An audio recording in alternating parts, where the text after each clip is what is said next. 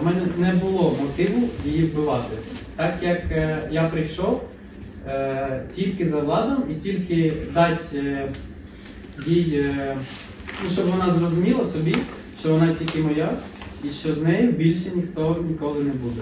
Керуючись статтями.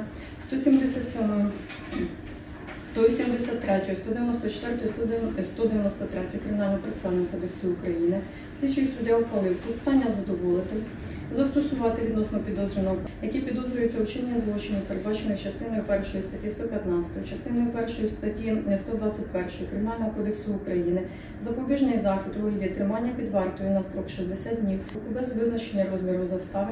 Ухвала підлягає негайному виконанню, але може бути оскаржена в апеляційному порядку шляхом подання апеляції безпосередньо до Черкаського апеляційного суду протягом 5 днів з дня оголошення ухвали.